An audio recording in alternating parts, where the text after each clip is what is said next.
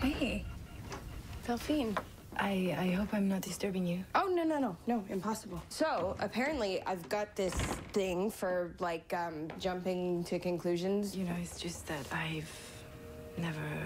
I know, I know, I know. You're not, you're not gay, and I'm a total idiot. So sorry.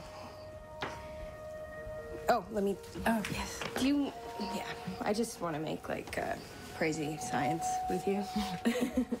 totally crazy science. I'm so glad to hear that because you know what? I was I was reading up on, on the Dyad Institute and did you know that Dr. Leekie, he has built a dedicated department for transgenic organ transplants and Sorry, I was just dorking out so hard to their um, extrapolation of murine models. what?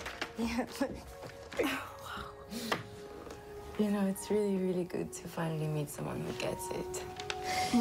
Who gets who gets me. Yeah, ditto. Ops.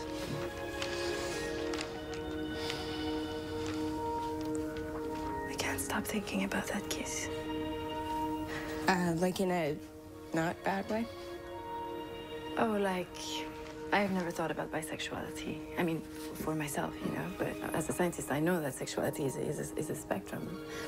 But you know, social biases they they codified attraction.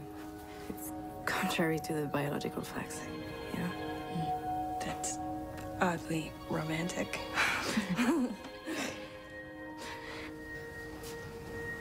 totally encouraging.